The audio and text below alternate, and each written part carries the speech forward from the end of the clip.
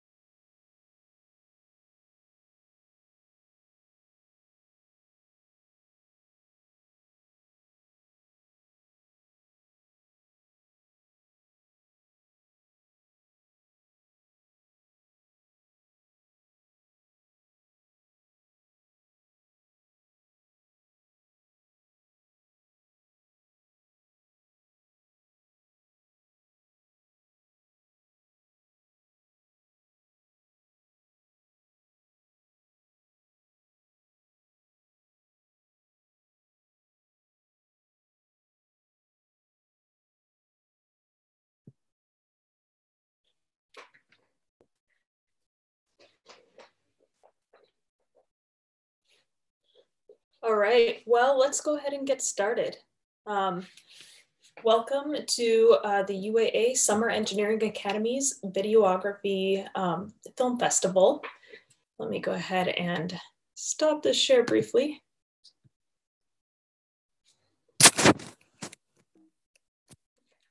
I'll just proceed. So welcome, my name is Vicky Nekodomo. I am the lead instructor for the videography session for the uh, Summer Engineering Academies. We offered three summer camps for um, middle school kids this summer for the first time that focused on videography. Uh, the Summer Engineering Academies have been around for quite a while, um, but we kind of wanted to look at a way that we could incorporate communicating through video and film as one of our new camps. So um, we had three sessions, five days long for each one of them, and just shy of 60 students between the three camps. 20 of those students um, really wanted to work a little extra on their videos and have a little extra time on that. So thus we have our end of summer film festival to take a look at those final projects and, um, and enjoy them together. So um, just another quick recap, we um, during those five days, students had a pretty rushed, um, intense experience of learning the technical and creative side of filmmaking, but also diving into the STEM concepts that they wanted to communicate through film. So we had students as their final projects choose whether they wanted to create an informational, uh, STEM activity, or poetic documentary final video project. And um, they did everything from planning and writing proposals and scripts to actually filming and doing the final edits on their videos. So we have 18 videos to celebrate tonight um, in those three categories. We'll start out with the STEM activity category, followed by the informational videos, and the um, poetic documentaries will be last but not least.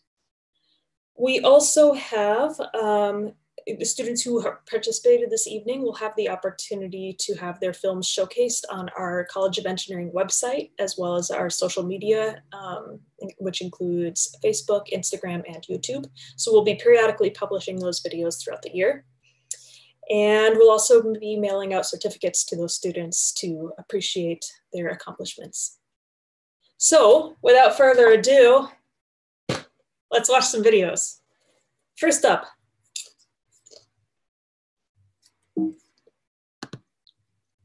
informational. Our very first video seems appropriate to start with this one is how to use Clipchamp to communicate STEM. So um, it's not always obvious how the um, videography camp fits into the themes of science, technology, engineering, and math, but this filmmaker, Levi, chose to um, make it very clear for us by helping us recognize how film can be used to communicate STEM ideas. He, he not only demonstrated on camera how to do video editing, but also showed us his excellent video editing skills through the actual video itself. So I'd like to congratulate Levi and give him the Video Editor Award. Let's watch his film.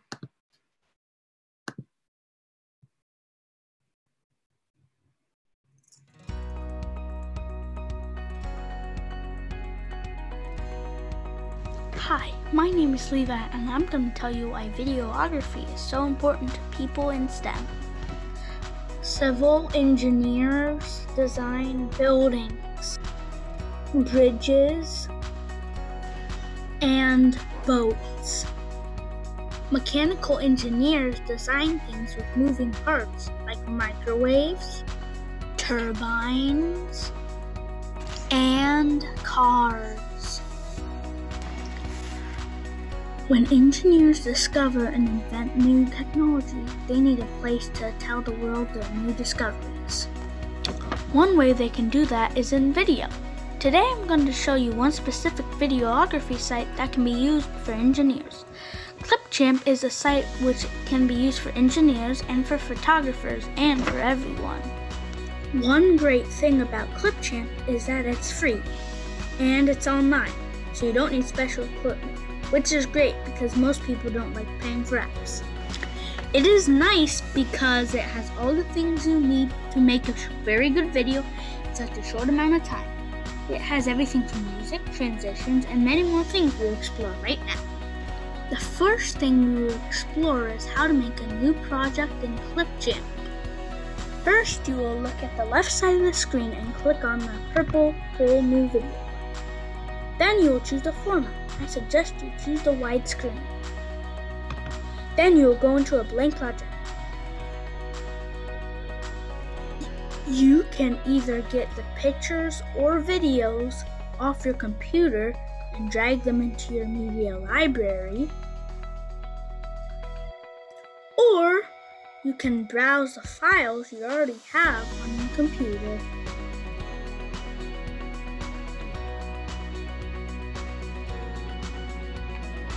When you have the pictures in the media library, you drag them into the timeline, which is a rectangle at the bottom of the screen. Once you've done that, you've started your video. You can leave it how it is, or add music, transitions, and edit the video. If you want to edit the video, all the edits are on the left sidebar. If you play around with the tools of Clipchamp, you will learn how to share your discoveries in video for other people to see and learn from.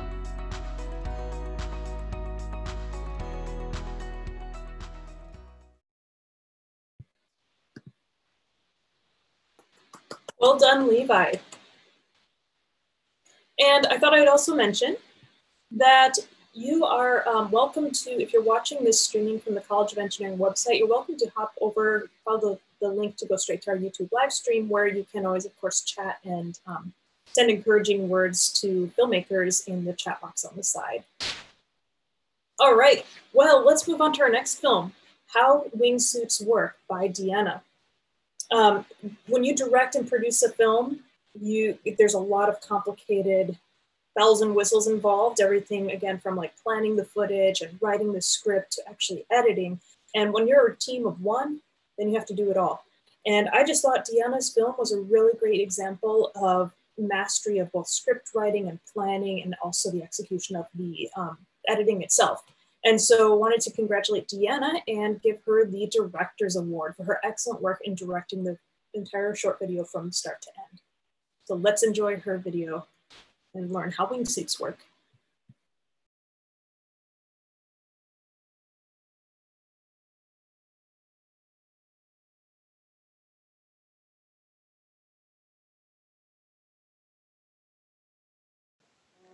If you're like most people, you've probably always wanted to fly, whether to be like your favorite superhero or just for fun. Well, did you know that you can? Wingsuits, special suits designed to make people fly, might be what you're looking for. With these suits, you're able to spread your arms and soar. But the question is, how? In order to answer that, we must look at the science of the suit and how it works. The first thing you should notice is that the wingsuit resembles a specific animal, the flying squirrel. In fact, the first wingsuit models were named squirrel suits due to their similarities. As you can see, both the wingsuit and the flying squirrel both have webbed flaps that help them glide through the air. Wingsuits work because the force of the air it opposes inflates the flaps between the arms and legs. This helps the airfoil, the cross-section shape that produces an aerodynamic force, stay up during the flight. The use of airfoil can be found in planes and most things that fly. This means that the flyer doesn't have to keep the shape of the wings through force alone, but also doesn't suffer limited movement due to stiff wing structure. This allows them to glide through the air like a bird. The suit straps securely to the flyer's body without blocking the main chute or the emergency handles on the chest that deploy the reserve parachute.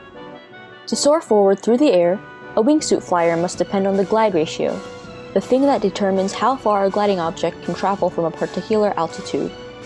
As weight pulls the flyer down, lift allows the flyer to glide horizontally through the air. So, there you have it. Now that you know how wingsuits work, maybe now you can check something off your bucket list.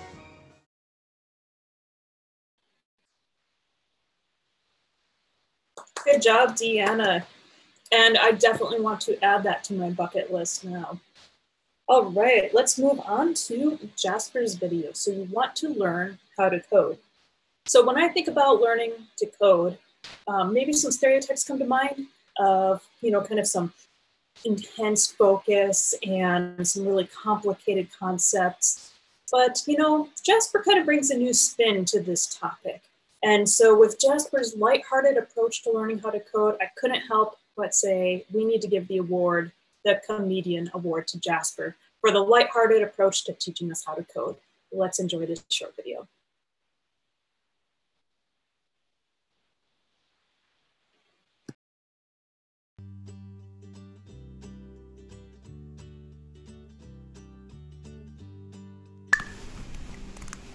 Hi, hello.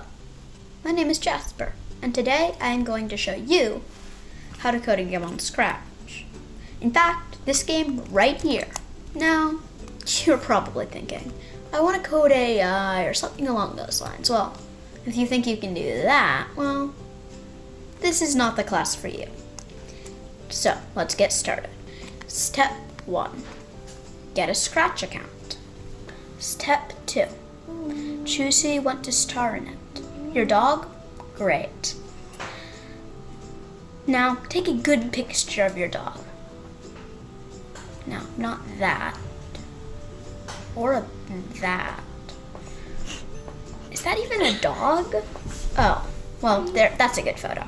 Step three, start a new Scratch project. Okay, so delete that cat. We do not like cats. Do we? Fine, maybe, maybe we do. Now, create a sprite by going here and finding that picture of your dog. See, now you have it. Now, um, let's add uh, this code to your dog so that you can move it. Now, this part of the code means that it will execute the actions in here forever. Now, this part means that if you're pressing the up arrow key, something will happen. And this part means that that something is the dog will move up. And the same thing for each of the different little parts. The dog can not only move up, it can move down and left and maybe even right. Pretty much, that's it. Now, um, you can see that this is obviously nothing like this, but you know, it'll work for our purposes, right? Now, this game, it's kind of boring, so let's give the dog something to go after. Oh, like a bone. You know, that's a novel idea. Yeah, no, not a chicken bone. Oh, well, that, I guess that works. Yeah, let's go with that. Create a sprite and do this. The bone shows up. Now, add this cone to the bone. Now, uh, code to the bone. Now, uh, like I said before, this part means that it will go on forever. This part means that if it is touching the dog, something will happen. And the something is three things, actually. It'll hide and disappear. It will play the sound bark, which I actually got by rec- hitting record when the mailman came by. And then this means that it will also happen to say, You win. That's all jolly good, but I mean, you can win now, but I mean, this, I mean, this game, it's still kind of boring. So let's create a new sprite and do it by clicking that button right there that I just clicked and creating a red shape or whichever color your local pound has adopted, right? And uh, add, and uh, you see, this is how you do it. You can move it around. It doesn't have to be a square. It can be a circle, right? But for my purposes, it is a square. Now, yeah. Now, um, go here and add this code. This code is actually pretty similar. There's a forever loop like in the other two codes. Put this block inside, as in the bones code. But inside of that, there is a block say, that will make it say, you lose, instead of disappearing and making it say, you win.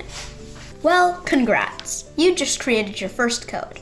And if this is not your first code, well, you just made another code, so who cares? No, no, it's still good. But now, um, it's time for me to leave. But, um, I think a certain dog can keep you entertained.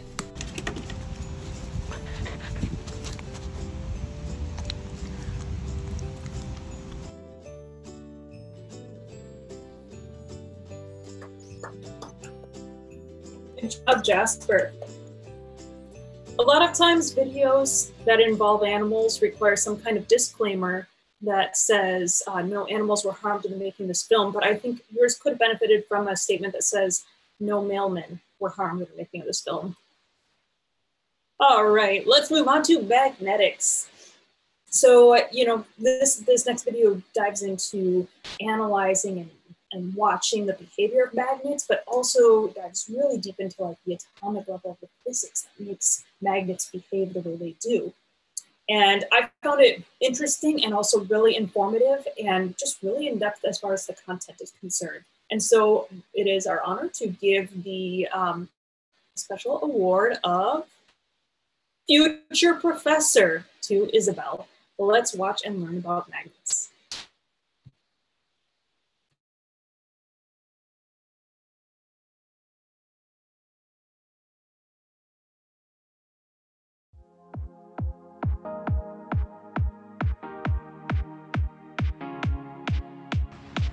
You've very likely interacted with magnets before, but do you know what causes them to be attracted to other magnetic objects? Why some materials are magnetic but many aren't? My name is Isabel, and this video will explain all that. Every magnet has both a north and south magnetic pole. If you were to cut a magnet in half along the division of the poles, the two pieces would each have their own north and south pole, and so on. When two or more magnets are brought close to each other, their magnetic fields interact opposite poles, north and south and south and north, attract, while similar poles, south and south or north and north, are repelled. But why? When electrons spin around the nucleus of an atom, of which everything is made out of, the atom can become a tiny magnet complete with poles and a magnetic field. So why aren't all materials magnetic? Either the electrons are not arranged in such a way as for the atom to have magnetic properties, or the north and south poles of the object's atoms are all pointing in different directions, and so the overall object is not a magnet. At least one of these are the case in non magnetic materials such as wood, plastic, and many more. In many cases, parts of the object, called magnetic domains, have the same magnetic orientation, but the individual domains are still in different directions. However, some types of material like this can be magnetized if they are put on a magnetic field, which causes all the domains to align and therefore make the object a magnet. Materials that are capable of this transformation are called ferromagnetic materials. This conversion can be temporary, such as when a magnet attracts a paper clip, which can then collect other objects so long as it remains touching the pole of the magnet, or permanent, such as stroking an iron nail with a bar magnet, in which case the former will become an at least long lasting magnet. Permanent magnets can be demagnetized if they are dropped or heated, which will cause the magnetic domains to unalign again. Earth actually has its own magnetic field and poles as well. Imagine a bar magnet with north and south ends going straight through the Earth. Because of Earth's slight tilt, the magnetic poles are in slightly different places than the geological poles. These poles are what allows compasses to work. So if opposite poles attract, why don't compasses point south instead of north? Well, the magnetic North Pole is actually at the bottom of the Earth, near the geological South Pole. The names were switched to avoid confusion. The effects of magnetics are all around us, from helping cause the northern lights to innovative use in engineering, such as in maglev trains. So, next time you use a compass or refrigerator magnet, think about the processes that have to happen to make them work.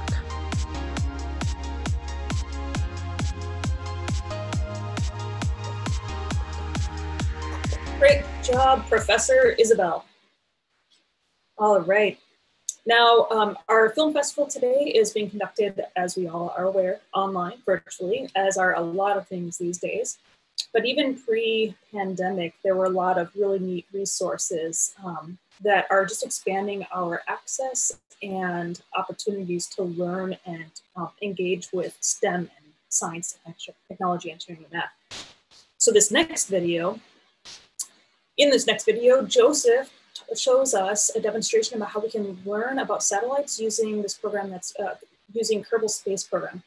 Um, and I just think that it was really neat how Joseph was able to use this technology to show us um, what we can use, uh, how we can explore future careers in STEM, both in this world and out of this world. And so we issued Joseph the award of Future Astronaut.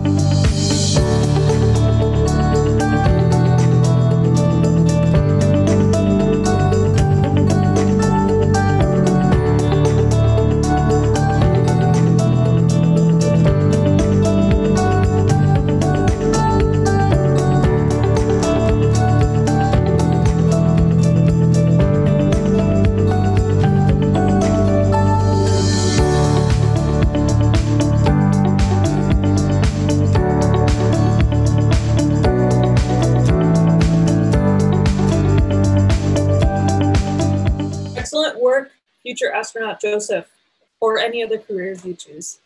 All right. Well, our next up, um, another sort of a sciency topic. When you hear the word physics, you may be tempted to think about like thick textbooks or really intense lectures and um, kind of some technical concepts. But we have a filmmaker this summer who decided to introduce us to physics concepts with the fun activity or the fun tricks and action of a um, of the diabolo, which you will see featured briefly. I don't know how to describe it other than seeing it yourself in just a moment. And so, in honor of the fun introduction and fun way that he introduces us to physics, we give Jackson the Fun Physics Award.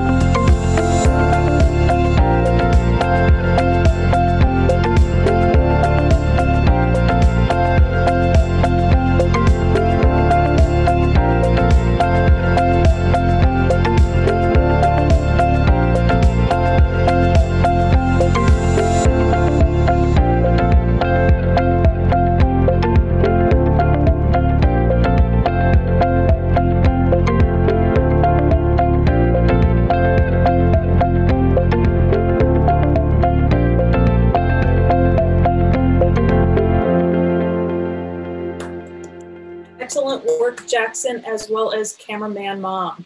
Good work and good job recruiting your family to help with that project. All right.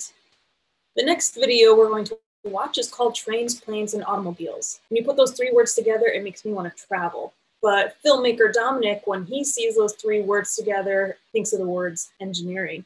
And so um, Dominic had an impressive amount of research that went into this project and learning about all different types of the history of trains and planes and automobiles. And so for Dominic, we give you the award, the research award. Well done.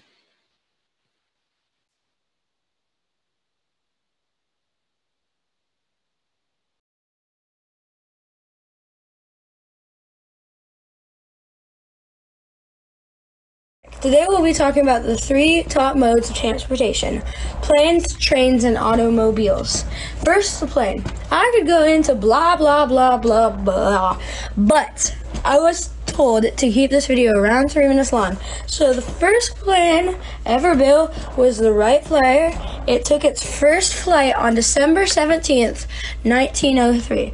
This plane was built by Wilbur and Orville Wright, aka the Wright brothers.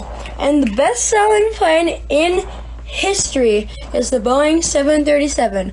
Over 14,000 of these have been built.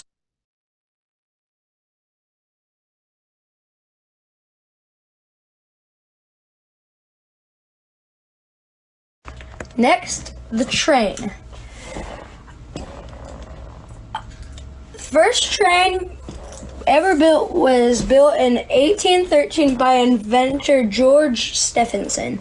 The best-selling train nobody knows, but the most trains ever sold from a company was from the American Locomotive Company with about 75,000 built. So basically, people have built a lot of things and they affect everyone.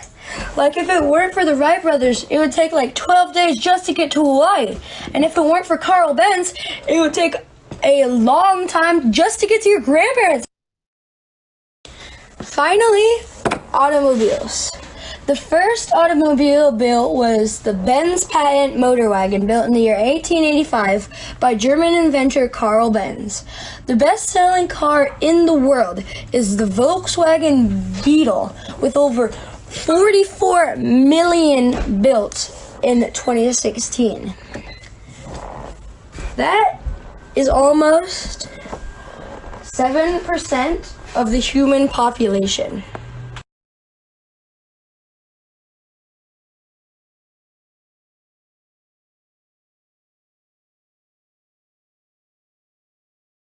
Bye. Good work, Dominic. That was a lot of information uh, crammed into three minutes, blah, blah, blah, right? Okay, good job. Now, the this is the final video in our first category, the first category being informational videos. And then we have two more categories after this. Um, this video is called Ways to Help Stop Climate Change by, and it's by Katrina.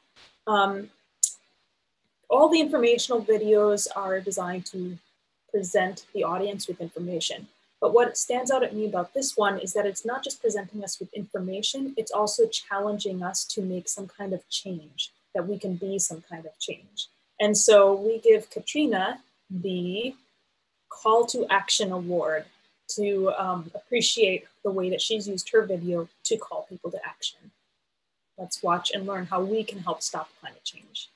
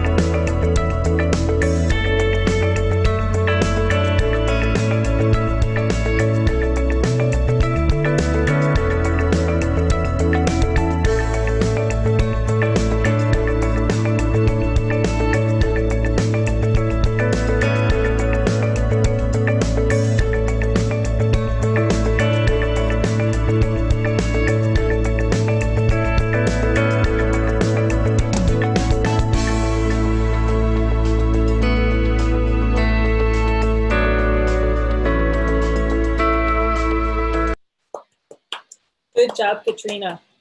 And I'm going to watch that again later and see if I can um, take some of those tips and implement them in my own life. So thank you for that call to action.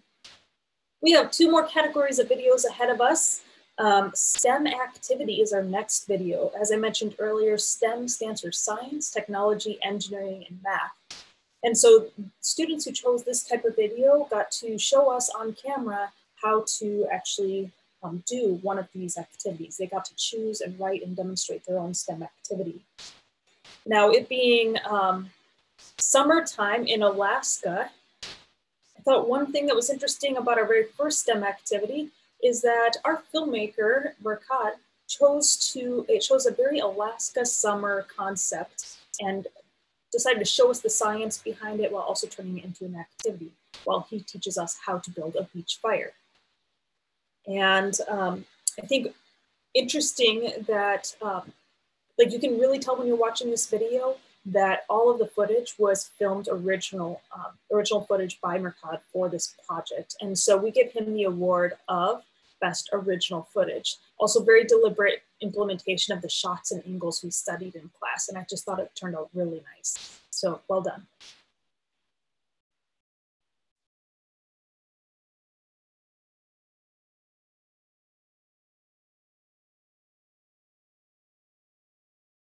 Fire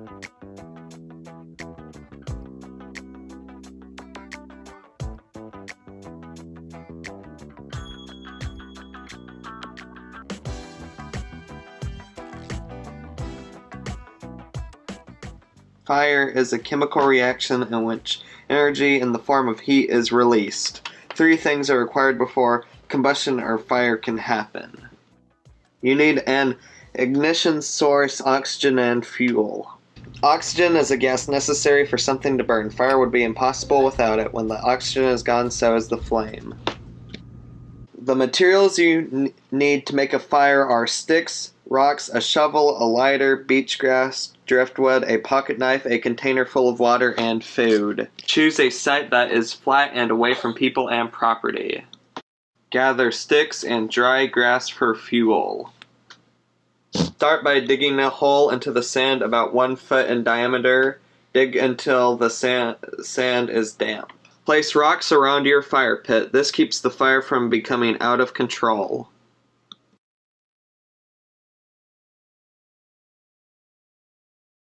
Lay the stick straight across and lay some more straight going the other way until it reaches the top of your hole, like a log cabin. This allows the fire to grow from the beach grass to the larger pieces of wood. Put beach grass in the middle and cap it off with a layer of driftwood like the roof to the log cabin. Stick your lighter into the middle of your pit so the lighter is in the spot where your beach grass is. Carve a stick until the top is like a spearhead. Attach a marshmallow to the spear and cook until it is done. Put it on a graham cracker with some chocolate and enjoy. Put the fire out with some water. Cover the fire with sand because some of the embers might not be completely put out. When something is being burned, that is called combustion. Combustion is used to power rockets, the burning of wood, to heat our homes, fireworks, to light up a New Year's sky, and it also powers the engines of vehicles.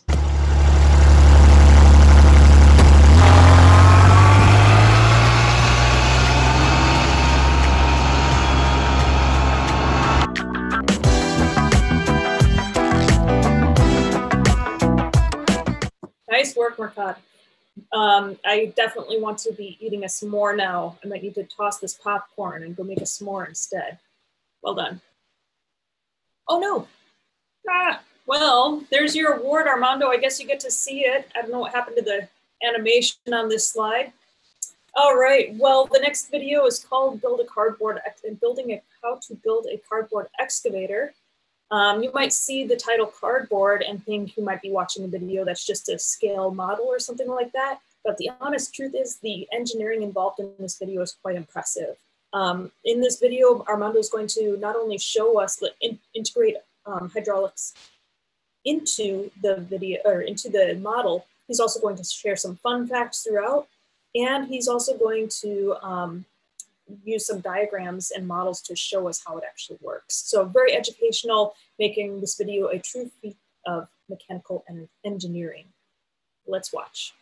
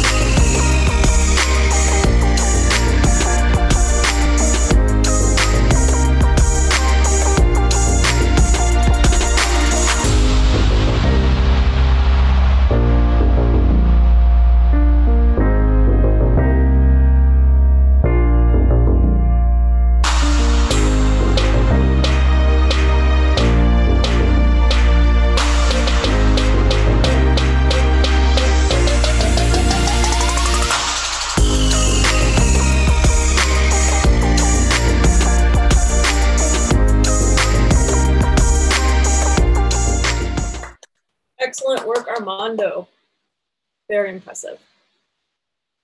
All right. Well, taking us over to a different discipline of engineering, over in the world of civil engineering, our filmmaker Hayden introduced us to the concept of making a bridge out of popsicle sticks. Um, but not just exploring how to make the bridge, but also going back and talking about what it is to be civil engineer, as well as what shape is the strongest, which um, some of you may know is the triangle, and you'll get to see that demonstrated in this video. So to Hayden, we would like to award for mastery and demonstration of civil engineering concepts, the Civil Engineering Award. Let's watch how to make a bridge.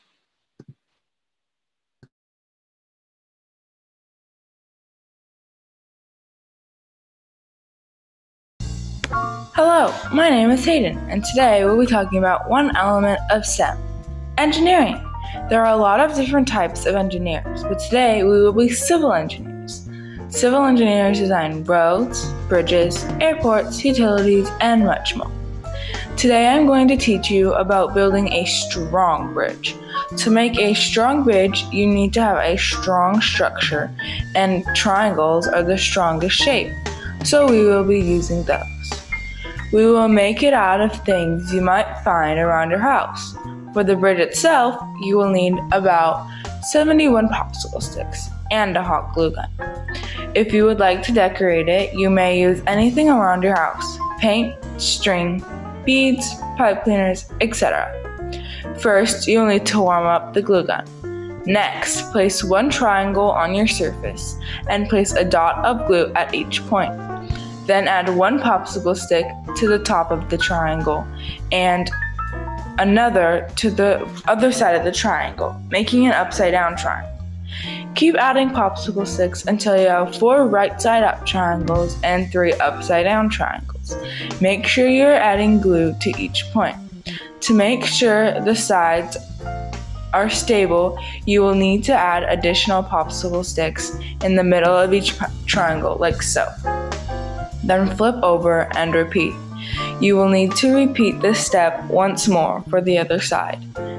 For the next step, place four popsicle sticks out in a square formation. Keep adding three popsicle sticks to keep making squares until you have four squares. You will need to add some more popsicle stick to make it more stable. You'll be adding sticks to the bottom left corner and the top right corner. So you should have two popsicle sticks per square. Don't forget to be adding glue to every stick. For the third step, we'll be gluing all the sides together. Place the bottom on your surface and take the sides and lean them on each other. You may have to hold it for a minute. You can also use zip ties or string to hold it until you glue it.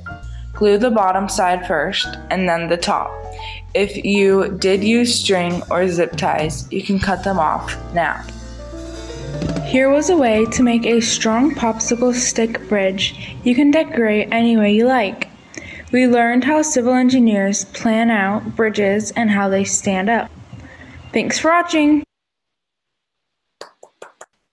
Excellent work, Hayden. I also really like your closing at the end there. Um, very good teaching practices to always go back and remind your audience what you just learned. Very nice. All right. Uh, this next video is how to make a fully 3D printable wind-up car by Kyla. Now, when we're making these um, STEM activity videos, or they're kind of similar in style to a DIY video, um, in the world of videography, that what that requires is a little bit different than other types of videos. And Kyla really demonstrated a mastery of the close-up shot that's required in these activity videos. And so for the mastery of that concept, we give Kyla the Best Close-Ups Award. And let's see those close-ups and how that they help us in figuring out how to assemble a 3D printable wind-up car.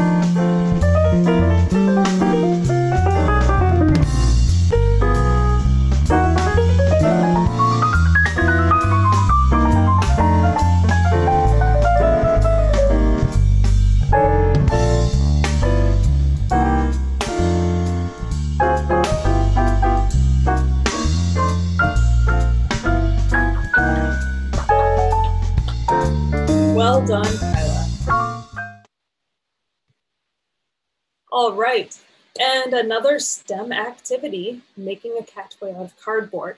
Now, a lot of times, the STEM activities that we're watching uh, have already gone through a process of designing. And so they, that's their final product, and then te they teach us how to create that final product.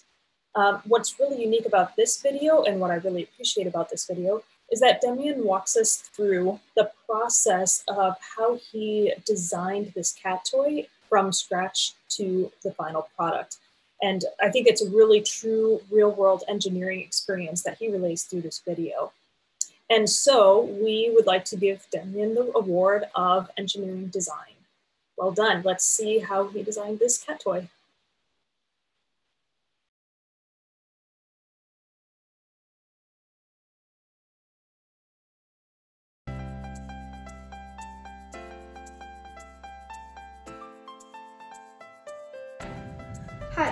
Today I'll be telling you how to make a fun and simple cat toy. I knew I wanted to make a cat toy that was easy to make and fun for cats to play with. The problem was that I didn't know what kind of cat toy I wanted to make. I looked at different cat toys to get an idea of current designs. To develop a possible solution, I began by thinking about the size of the cat toy and decided that it should be something small my cats could play with. I wanted to add catnip and cat treats inside the toy, so I knew it had to be hollow inside. At first I wanted an octagonal shape because I thought it would roll better, but when I researched how to make it, I decided on a square because I thought it was a simpler design. The sides would have to have holes in them to let the smoke come out. I designed my cat toy by drawing it on a cardboard. Starting with a size of 2 and a fourth inches, I decided to scale it down to 1 and a half inches built a prototype and put catnip in it. During the testing phase, the catnip fell out of the holes. Catnip falling out of the holes was not a good thing, so I came up with three possible solutions. One, a small cloth bag.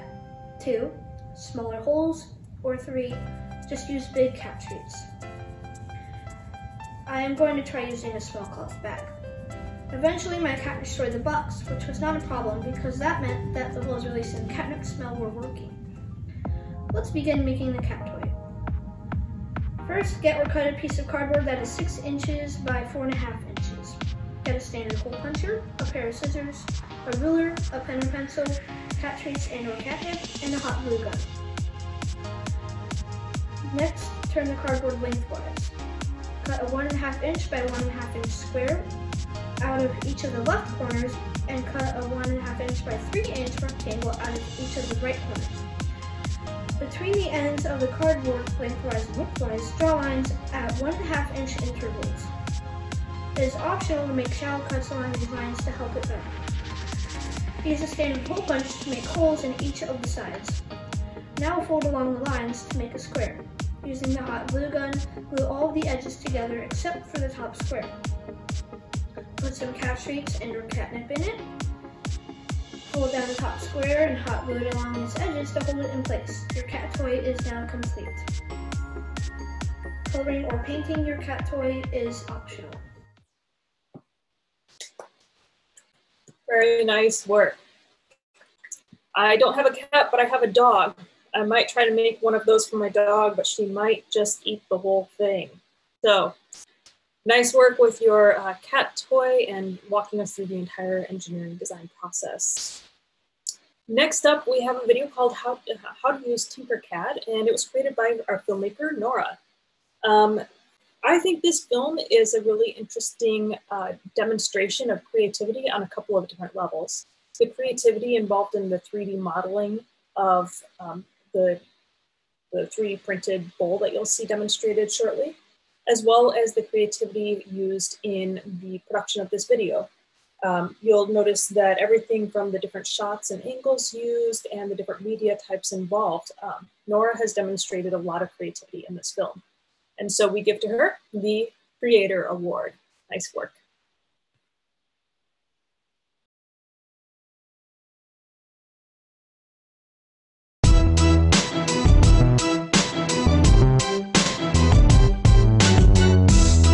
There, my name is Nora, and I'm going to be showing you how to use the 3D printing software Tinkercad.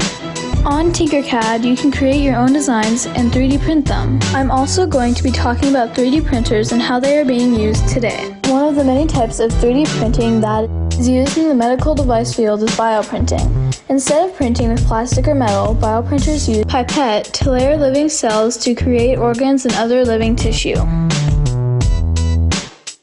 SpaceX is also hoping to be able to bring 3D printers to space, so that if they need a new part, they can print it out instead of shipping it to them when it takes time and money. So I have Tinkercad pulled up on my computer I'm going to be designing a little bowl. And I will also be showing you how to overall just use the Tinkercad software. So let's get started.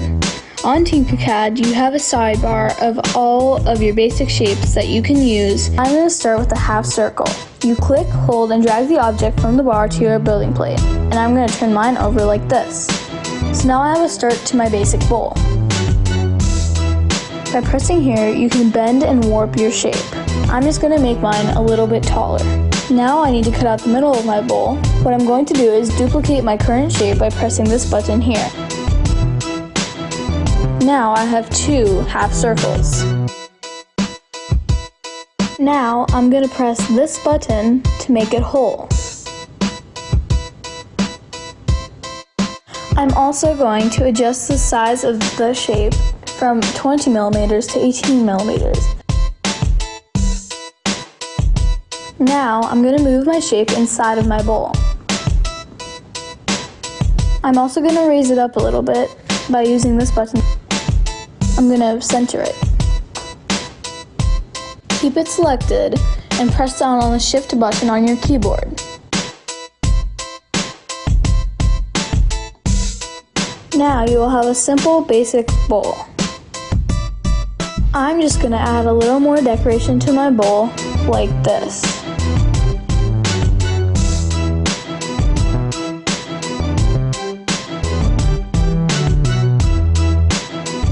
Can also change the color by pressing this button. Alright, it's ready to be 3D printed.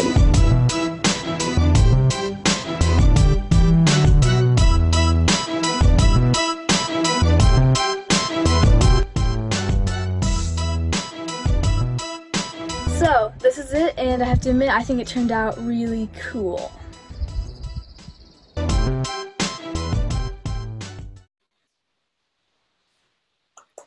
Excellent work, Nora. Very nice. All right, this next video is how to build a catapult with Emma. So with these STEM activities, uh, it's very important for uh, our filmmakers to be good communicators and to be able to walk us through step by step and make sure that we know what materials to have prepared.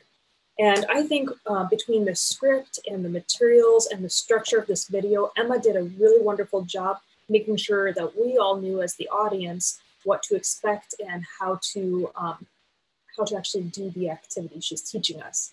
And so for Emma, we award her the Best Instruction Award.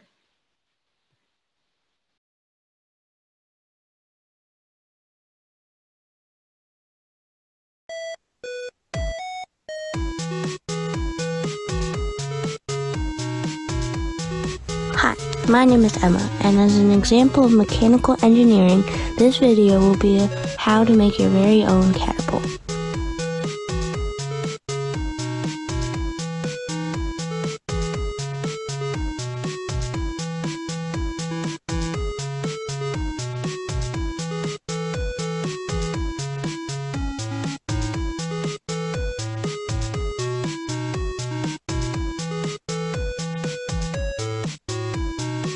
First, use the pair of scissors to make two notches on either side of two big popsicle sticks.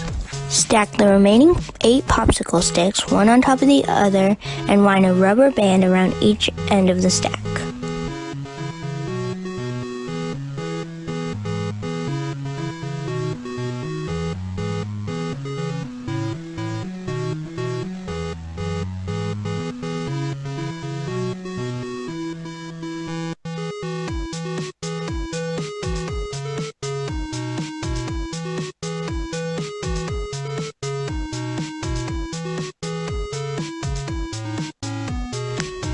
Next, take the two notched sticks and wind a rubber band around the notched end.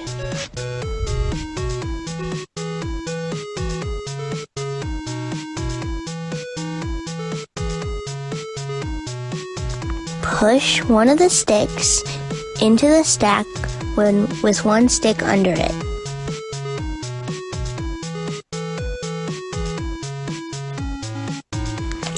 And push the popsicle stick stack closer to the notches.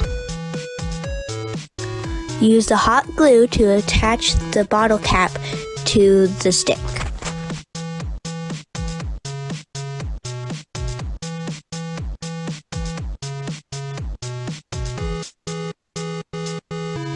And then have fun shooting pom poms everywhere.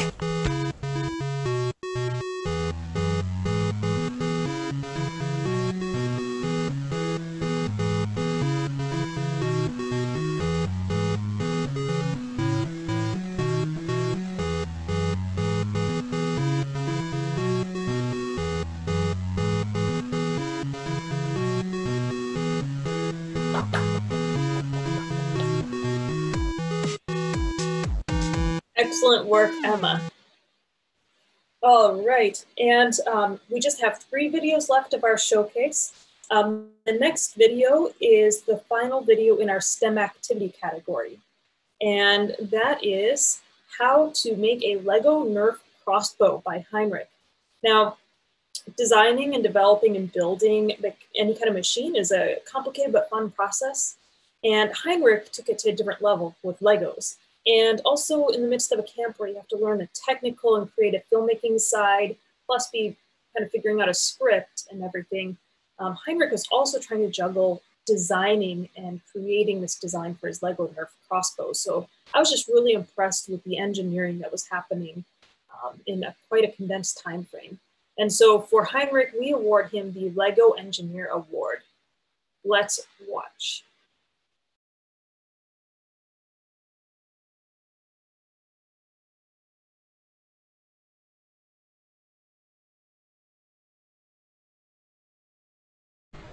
Hello and welcome to a tutorial on how to make a Nerf crossbow using Lego. The design for this build is very complicated but easy to make. The science behind how it works is pretty cool.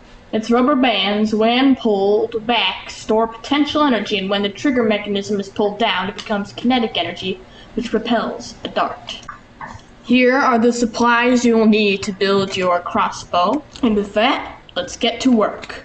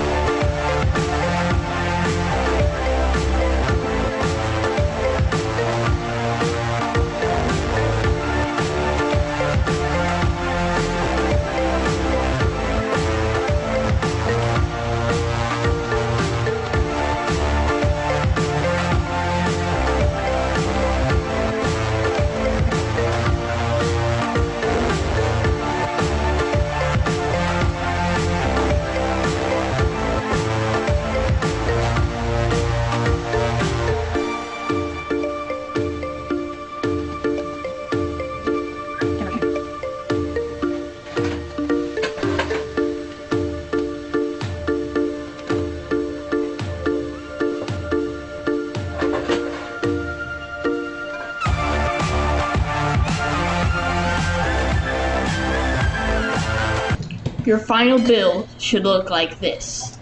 How it works is you pull the string back, insert a dart in the loading bay, and then pull the trigger down. Hope you enjoyed this video. Try to make your own custom modification to this design. You can use longer arms or shorter bands to get more power, or you can use different pieces to make your own design. Thanks for watching. Excellent work. Between the last two videos, I could have a catapult and a crossbow going on here. Pretty exciting. All right, well, good job to all those students who made STEM activity videos. Our final category with only two videos in it is uh, the poetic documentary video.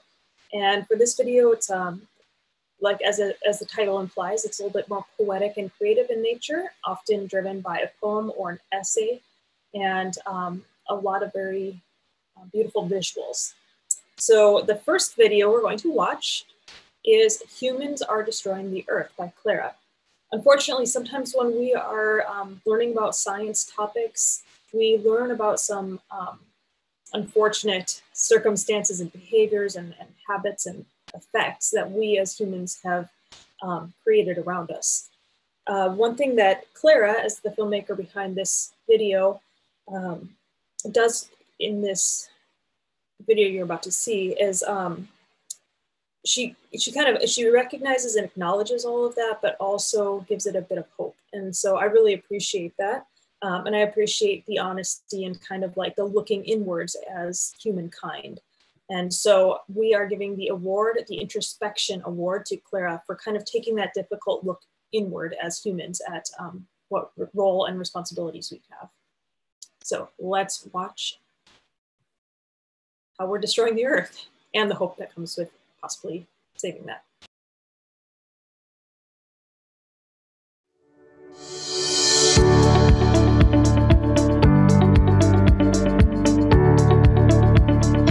Animals have been on Earth for over 700 million years. Humans have only been here for 200,000. So animals have been here 3,500 times longer than us. We have been here for so little time compared to animals, and look what we've done to them. We have thrown trash in the ocean, started wildfires that burn animals' habitats.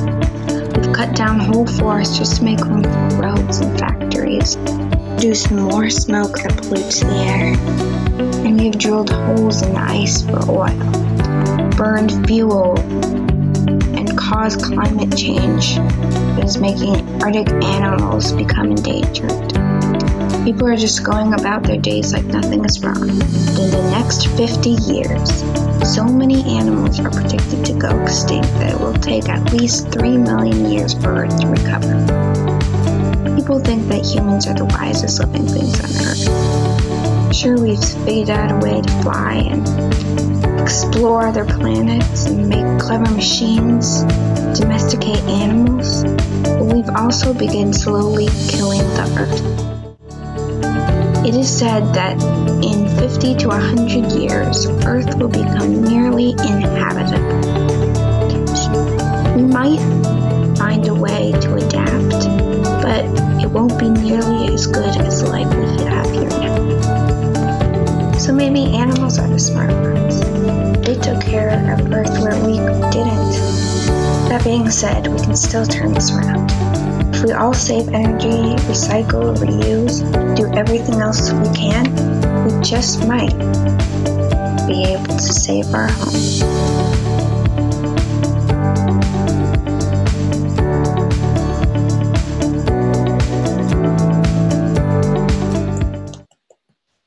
Excellent work, Clara. And I do like the positivity you ended with, and that you might just still be able to do something. Um, reminds me of the other video we watched earlier um, with the 10 tips we can all start implementing.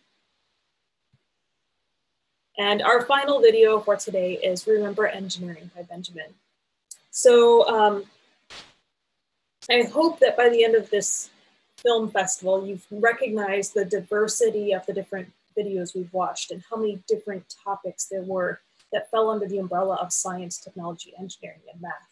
And so I, I think Benjamin's video does a really nice job showcasing for us that and kind of reinforcing how broad and wide the world of engineering is, and also inspiring us to potentially consider futures in engineering and what types of um, what our roles could potentially be in engineering. So we give Benjamin the Engineering Inspiration Award as I find this video to be very motivating um, and I hope a lot of the youth out there watching this also take the message to heart and think, hey, maybe engineering is for me. let's watch.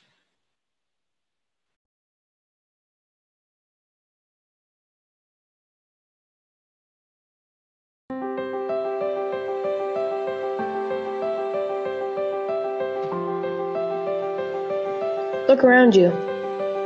What do you see? You might see a house or car. You may see a device. All of these things are created by engineers. You may not think about it, but engineering is used in so many ways. Everyday items are designed specifically to support your needs. Engineers put hard labor into making things for our planet and our people. Fridges, cars, bridges, computers, and even skyscrapers were planned and designed by people among us. Engineers have spent their lives making the world a better place. The foundation of our survival is in the hands of engineers. Their hard work that they do every day should be appreciated mechanical engineers, electrical engineers, civil engineers, geospatial engineers, and technological engineers play such an important role, we would crumble without them. So appreciate and acknowledge engineering, because after all, everyone is an engineer in their own way.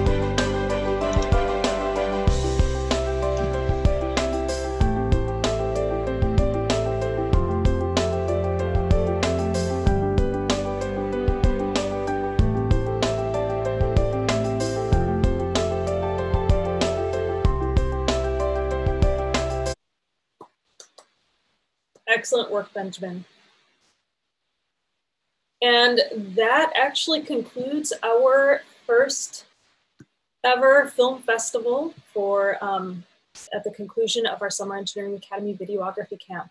I do want to remind you all that these videos will be periodically published throughout the year on our website, as well as our social media, which you can all see listed on the screen there.